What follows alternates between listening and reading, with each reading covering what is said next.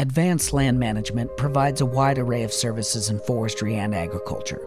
These contracting services we provide can be carried throughout any crop and any vegetation.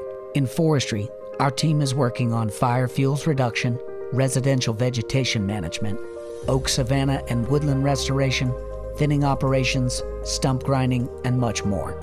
We apply what are now common practices in forestry to agriculture. These practices help reduce the need for burning and help schedule projects to be done within strict timelines. Our agriculture team is working on complete orchard removal, orchard thinning, blueberry removal, Christmas tree removal, and much more, including forest to agriculture ground conversions.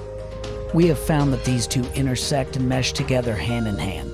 That is why we have built a unique fleet of equipment and a team to take on these projects.